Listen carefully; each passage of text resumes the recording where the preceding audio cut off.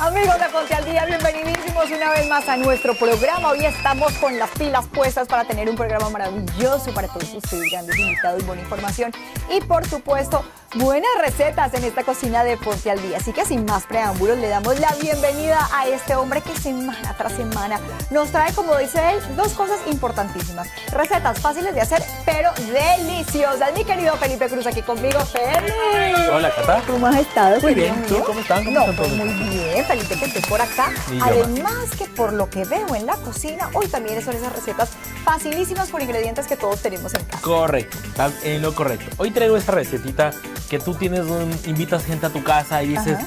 ¿qué entrada les hago? Hago la típica entradita de siempre, Sí. ¿qué me invento? Pues hoy te traigo una entradita que va a quedar súper linda en el plato, Ok. se va a ver muy cuchi, la gente va a decir, "Mm, qué tremendo trabajo Va a que decir, hizo". "Hombre, ¿cuántas Pero horas pasaste la en la verdad que esto es lo más sencillo que puede haber y te queda súper bien. Y Pues, vamos a utilizar Manos a la obra. Aguacate, porque vi que les encantó el uso del Me aguacate. gustó mucho la de la semana pasada, Entonces, el aguacate, así que me pongo por Exacto, acá vamos a hacer el nuevo empecé. aguacatito.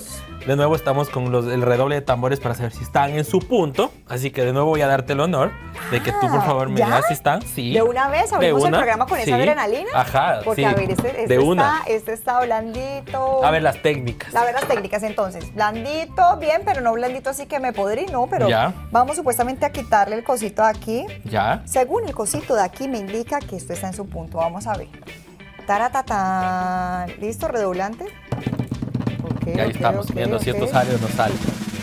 Y Y con ustedes un aguacate. si Perfecto. ¿cómo Estoy en una racha de aguacates. Para tener esos aguacates perfectos. estoy, ¿Los estoy dos en o- buena o, racha. solo uno? No, ahí está perfecto Listo. porque, mira, aquí vamos a hacer una cosa.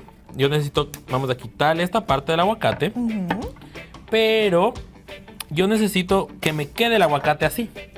Ok. Pero necesitamos quitarle la cáscara. ok. Entonces, con mucha delicadeza, aquí se ocupa el todos los lados de una cuchara Ah, para quitarle así. Bueno, pero es que tienes una cuchara mágica porque tenía como también una. ¿Una qué? Una, un filito, Un ahí, filito ahí. atrás. Entonces, mira, vamos quitando y, si no me equivoco, ya salió. Listo, Tenemos la primera. Y arriba vamos a hacer una ensalada de atún. Ah, ok, ok, ok, perfecto, listo. Entonces, Entonces, el tenemos aguacate. dos aguacaticos aquí. Correcto, estos ya nos queda solo nuestras conchitas.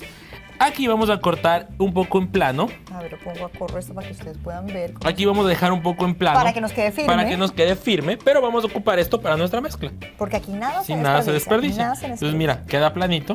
Listo. Lo mismo por aquí. Cortamos.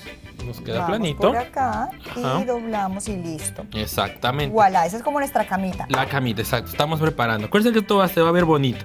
Vamos a abrir un poquito más del espacio. Para que nos quepa más. Para que entre más, exacto.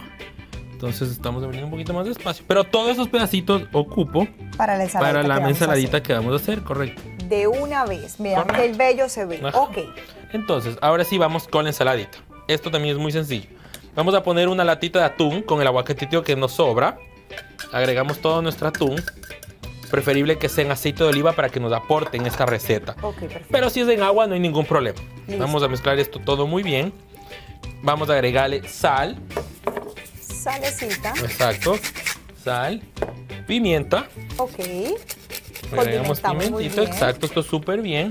Vamos a agregar también mayonesa. Ya. o puede ser cream un- cheese. Que es si un buen tenemos. matrimonio siempre con el atún. Exacto. Vamos a Y a mezclar esto súper bien. Mezclamos esto súper, súper, súper bien. Y obviamente vamos a agregarle un toque de cilantro, Claro, cebollín y me, cebolla. tú me quedaste debiendo el cilantro la vez Exacto, pasada. y dije, no. muy tímido con el cilantro. Tengo que llevarme, esta vez sí. Agregamos un toque de nuestra cebollita. Tampoco tanta porque si no usted tiene un aliento de Eh, bravo de después de esa ensalada. Exactamente. Entonces así un toquecito. un toquecito, correcto. Vamos a cortar un poco de un tomatito. Hermano de la cocina de la Barbie, te digo. Sí, no, es no- de no los pierde pitufos, favor. Los. Entonces, mira, vamos a cortar aquí todos en cubitos. Y además ese rojo le va a dar vida y Le va va a dar vida todos a los todo colores esto. de la Exacto. ensalada. Mira cómo inmediatamente cambia el color. Ya tenemos nuestra ensaladita por acá. Y vamos con el toque de cebollín. De cebollita, que es deliciosa. A mí la cebolla larga me fascina. Por ejemplo, a mí un Es guisito con cebolla larga, ay, es el más delicioso del mundo. Es increíble el sabor que da esto. Y cilantro, exactamente. Entonces, revolver, Mira, revolver, revolvemos revolver. todo esto muy bien. Ya vamos viendo cómo cambia el color. Pero vamos a picarlo para ya. A mí me gusta como listo. siempre coges el cilantro que además le haces así como...